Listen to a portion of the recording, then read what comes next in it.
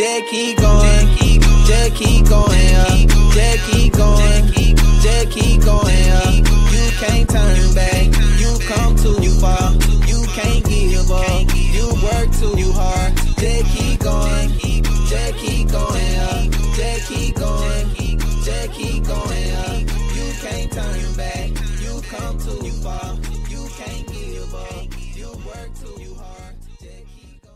Hello, everyone, and welcome back to another episode of our podcast. Today, we're diving into a topic that is absolutely crucial for any PhD student effective data analysis in doctoral research.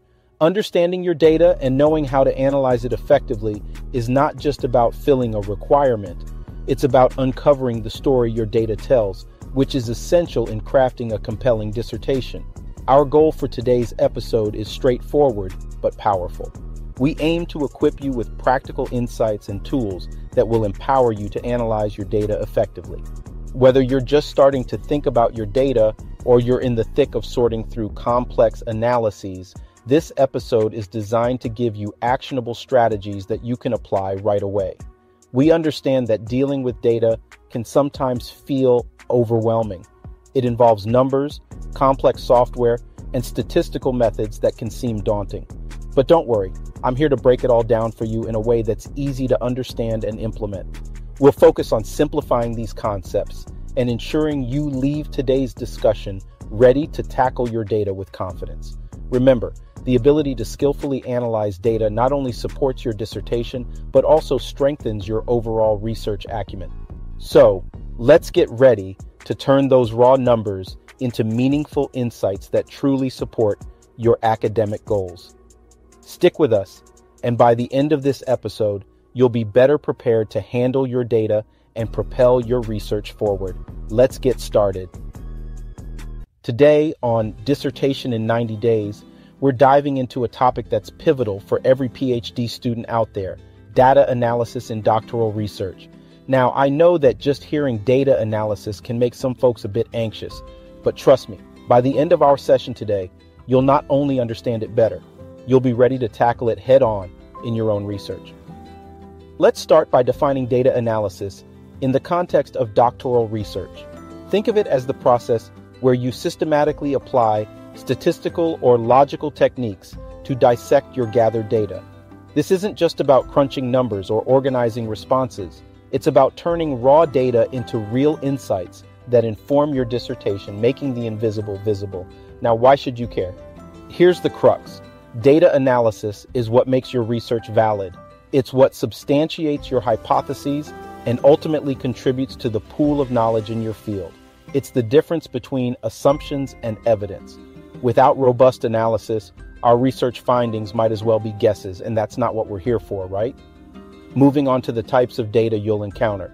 Broadly speaking, there are three qualitative, quantitative, and mixed methods. Qualitative data will come from interviews, observations, maybe texts, where you're looking at non numerical data to understand themes and narratives. Quantitative data, on the other hand, is all about numbers. Whether from surveys or experiments, you'll use statistical tools to draw conclusions. And then there's mixed methods, a blend of both qualitative and quantitative. This approach can really strengthen your research, giving you multiple lenses to examine your hypotheses and validate your findings. Understanding these types and using them effectively allows you to not just navigate, but excel in your doctoral journey. Each type has its unique strength, and knowing how to use them will elevate your research from good to great. So stick with us as we delve deeper into each of these data types and share practical tips on how to analyze them effectively. By the end of this, you'll be more than just familiar with data analysis. You'll be proficient. Let's get started. All right, let's roll up our sleeves and delve into the actual techniques of data analysis.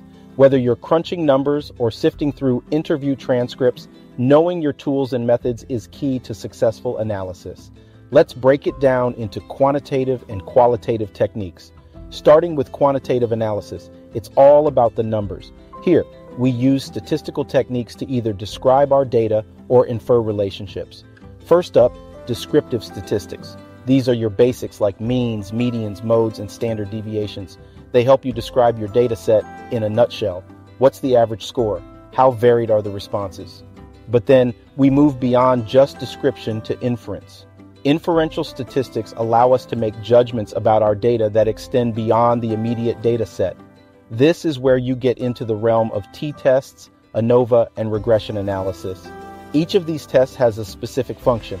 For example, a t-test can help you compare the means of two groups, while ANOVA lets you compare means among three or more groups. Regression analysis, that's about understanding the relationship between your variables.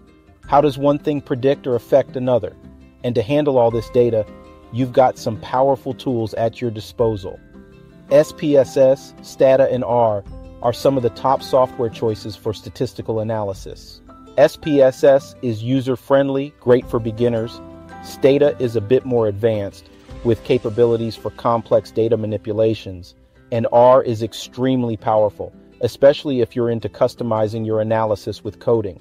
Switching gears to qualitative analysis. This is less about numbers and more about understanding deeper meanings and patterns in non numerical data. One popular method here is thematic analysis. This involves identifying patterns or themes across your qualitative data. What are people talking about most? What common threads emerge from the interviews or focus groups? Then there's the coding process. This is where you break down your data into manageable parts. You start with open coding, just marking down everything that seems interesting or significant. From there, you move to axial coding, which starts to organize these codes into categories or themes. And finally, selective coding, the stage where you start to weave these codes into a cohesive story, focusing on the main themes that tell us something significant about the data. For managing all of this, there are software tools designed specifically for qualitative analysis. NVivo, Atlas.ti, and MAXQDA are some of the leading options. These tools help you manage, sort, and organize your qualitative data, making the process more manageable and less overwhelming. Both for quantitative and qualitative analysis, these software tools play a crucial role. They do more than just simplify the process, they provide a framework for consistency and rigor in your analysis. By using these tools, you can ensure that your analysis is robust, replicable, and transparent which are key elements in scholarly research. So, whether you're dealing with statistical data or narrative data, remember that the technique and tool you choose can greatly influence the quality of your insights. Always select the method that best suits your data and research questions and leverage these tools to help lighten the load. They're not just there to make things easier, they're there to make your research stronger. As we wrap up this segment, remember that the heart of data analysis, whether quantitative or qualitative, is about telling the story of your data in a clear, precise, and meaningful way. It's about turning raw data into knowledge, and that's a beautiful process. Moving forward in our data analysis journey, let's chat about one of the most practical decisions you'll make choosing the right tools for your analysis. This isn't just about picking the most popular software, it's about what works best for you and your specific research needs. First things first, consider the type of data you're dealing with. Are you crunching numbers from surveys or experiments? Or are you analyzing text from interviews or observations? Your data type will heavily influence your choice of software. Quantitative data often requires robust statistical tools, whereas qualitative data might need software that's adept at handling text and enabling detailed coding. Once you've nailed down the type of data, Think about your specific analysis needs. What kind of tests or coding strategies do you plan to use? Make sure the tool you choose can handle those requirements. It's like picking a new smartphone. You want to ensure it has all the features you need for daily use. Now, let's talk about some practical considerations cost, ease of use, and compatibility with your data types. Cost is a big one. Some tools can be quite pricey, especially the ones loaded with advanced features. If you're on a tight budget, Look for open source options like R, which are free and still incredibly powerful. Ease of use is another crucial factor. Tools like SPSS are known for their user friendly interfaces, making them a great choice if you're not keen on steep learning curves. Lastly, compatibility is key. Ensure that the software you pick works well with the data formats you'll be using and integrates seamlessly with other tools in your research toolkit. Once you've selected your software, the next step is to actually learn how to use it. This can seem daunting, but there are plenty of resources available. Many universities offer workshops or courses on popular statistical software. These can be invaluable for getting hands on experience under the guidance of an expert. Don't forget about online tutorials and forums. There's a wealth of information available online, from detailed video tutorials to community forums where you can ask questions and get advice from other researchers. These resources can be especially helpful when you run into specific challenges, or advanced techniques. In summary, choosing the right tool for data analysis in your doctoral research is about matching the software to your specific needs and ensuring it's something you can afford and learn to use effectively. By taking these considerations into account, you'll not only make your research process smoother, but also more enjoyable. As we wrap up today's discussion on data analysis, I want to leave you with some practical tips that can make a big difference in how effectively you handle your data. These aren't just steps to follow, they're habits to cultivate that will strengthen your research and simplify your life as a PhD student. First up, staying organized and keeping detailed notes. This might seem obvious, but it's crucial. Organize your data files, code books, and analysis results in a way that you can easily retrieve and understand them later. Keeping detailed notes of every step in your analysis process is not just about diligence, it's a safety net. If you ever need to go back and check or explain how you reached a certain conclusion, these notes will be your best friend. Next, never underestimate the value of regular consultations with your supervisor or mentors. These are the folks who have been where you are now. Use their experience. Regular check ins can provide you with guidance, prevent common pitfalls, and save you a lot of time and headaches. They can help you see the bigger picture when you're too caught up in the details. Finally, embrace the power of peer review and feedback. Sharing your analysis with peers or even presenting at seminars can open up avenues for constructive feedback. This isn't just about finding errors, it's about refining your approach and gaining new insights. The feedback from these sessions can be incredibly valuable in fine tuning your data analysis, ensuring it's as robust as possible.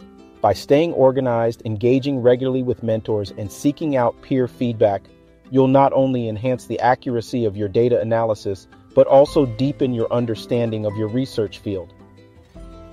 As we wrap up today's enlightening journey through the world of data analysis, let's quickly recap the key takeaways from our discussion. We started by understanding what data analysis really means in the scope of doctoral research and why it's absolutely crucial for validating your findings and contributing meaningful knowledge to your field. We then navigated through the various techniques and tools you can use, whether your data is numerical or narrative in nature. Remember, choosing the right tool, like SPSS for quantitative analysis or NVivo for qualitative insights, is pivotal, not just for ease, but for effectiveness and we round it off with some practical tips to keep your analysis process smooth and reliable. Stay organized, keep detailed notes, consult with your mentors, and don't shy away from peer review. These practices are your best allies in the journey to a successful dissertation. I hope today's episode empowers you to view data analysis not just as a requirement, but as a critical, enriching step in your research journey. Dive into it with curiosity and the right tools, and you'll uncover insights that can truly illuminate your work. Don't forget to join us next time for more insights and practical advice on navigating your PhD journey. We'll be diving into new topics that will help you stay ahead in your academic endeavors. Until then, keep analyzing, keep discovering, and keep pushing the boundaries of knowledge. Thanks for tuning in to Dissertation in 90 Days. Catch you in the next episode. Happy researching, everyone.